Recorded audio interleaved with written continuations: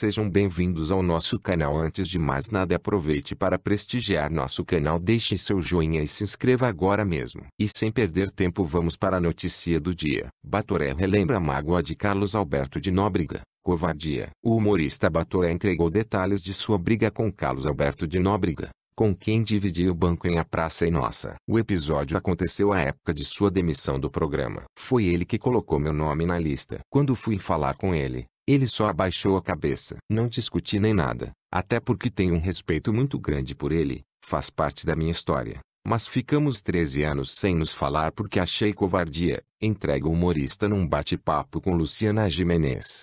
E aí, o que você achou? Deixe seu comentário. Obrigado.